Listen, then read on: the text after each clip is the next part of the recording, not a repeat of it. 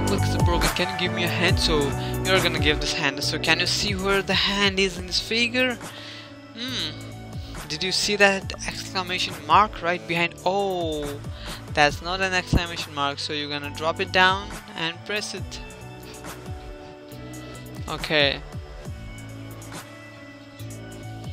Awesome.